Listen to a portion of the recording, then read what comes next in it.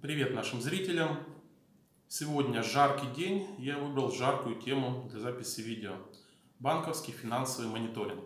Мы обещали вам поговорить об этих вещах подробнее. Дело в том, что проблема очень актуальна, болезненная для многих. Все больше ФЛП, юрлиц и обычных граждан сталкиваются с процедурами Финмона, особенно в последние годы. Хотя а, сам по себе Финмон в Украине существует уже очень давно. Первый соответствующий закон был принят еще в 2002 году. Сейчас я перечислю вам 6 важных фактов о банковском финансовом мониторинге в Украине.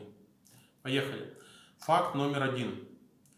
Идеей Финмона во всем мире является противодействие таким незаконным вещам, как финансирование терроризма, финансирование распространения оружия массового поражения и противодействие отмыванию преступных денег.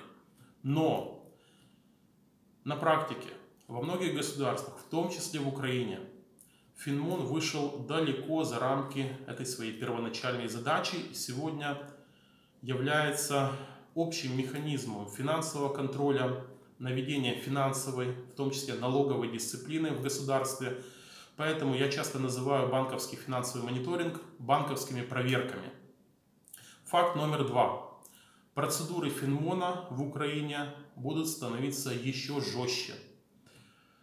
Такой вывод я делаю на основе опыта других э, государств, европейских стран и на основе последних принятых законов, решений в этой сфере в Украине и э, поведения государственных регуляторов в сфере Финмона.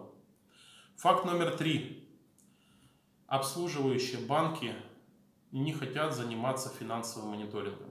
И специалисты отделов Финмона в банках совершенно не горят желанием кошмарить своих клиентов, заниматься постоянными идентификациями, верификациями, надлежащей проверкой э, операций, но банки вынуждены это делать под риском крупных штрафов со стороны Национального банка Украины. Четвертый факт. Главное правило для бизнеса, и не только для бизнеса, относительно процедур Финмона. Не попадайтесь. Так звучит это правило. И это реально, если грамотно планировать свои финансовые потоки. Факт номер пять.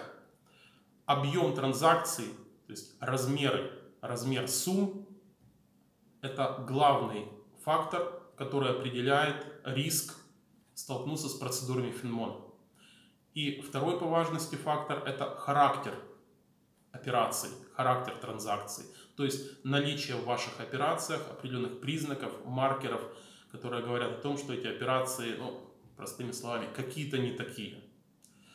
И шестой, а, последний факт если вы уже столкнулись с процедурами Финмона, то есть почувствовали их на себе, то есть банк приостановил обслуживание вашего счета и задает вам вопросы, требует документы, вам придется отвечать на все эти вопросы подробно, вам придется подробно описывать характер вашей деятельности, иначе у вас будут серьезные проблемы, хоть и временные, с распоряжением вашими деньгами, а в дальнейшем банк может вообще отказать вам в обслуживании. Пока это все по Финмону. Не попадайтесь. Успехов вам в работе и в бизнесе.